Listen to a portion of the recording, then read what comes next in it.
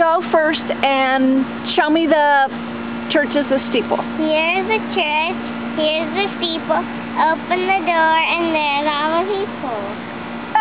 And tell me your name, please. Emily, Emily what? Morrow. Morrow. Thank you very much, Emily Morrow. Okay, do we are we ready for Boris? Do you feel like doing it yet, Boris? No. Okay, that's all right. We'll wait just a little while. You can sit here and watch other kids and see if you really want to do it or not.